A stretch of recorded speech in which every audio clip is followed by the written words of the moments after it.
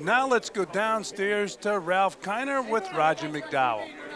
And usually where Roger is, there's always trouble, and this time it wasn't caused by Roger. You can't blame this one on you, Roger. No, not at all. I, I don't know what trouble has happened, but I, I, I haven't caused any, I'm, I'm free, and I'm, I'm, in the, I'm in the innocent right You- here. You're on the outside of it and watching all this action go on that usually is caused by you.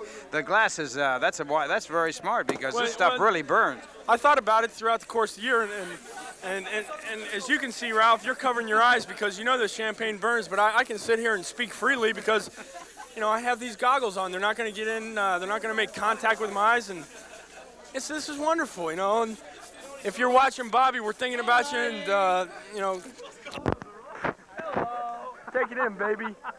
Well, one thing for sure. Well, one thing for sure is my hairdresser's going to be pissed at me.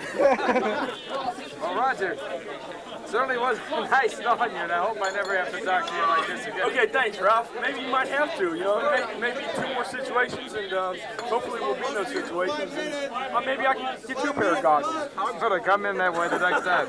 And I really do hope it happens again, Roger. Thanks, Ralph. Great year. Thank you. Right now, let's go. Let's go over the other side to Tim McCarver.